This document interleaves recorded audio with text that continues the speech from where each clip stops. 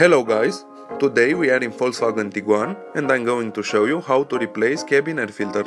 First, open the glove box, lift these two tabs and let the glove box drop.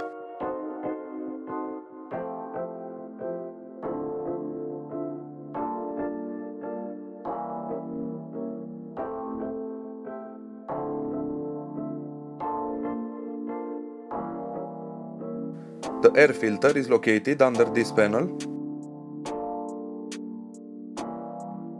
Push down on these three tabs and pull the cover out.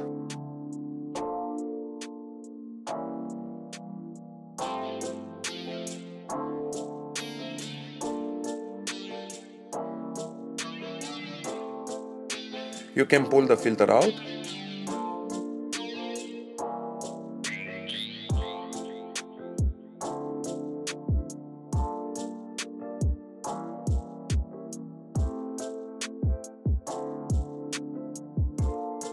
Put the cover down first and push until it snaps.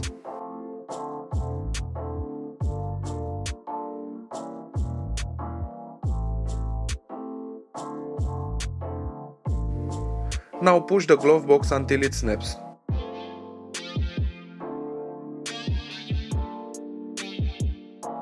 This was my video. For any questions, you can leave a comment and I will try to answer all of you. Thank you.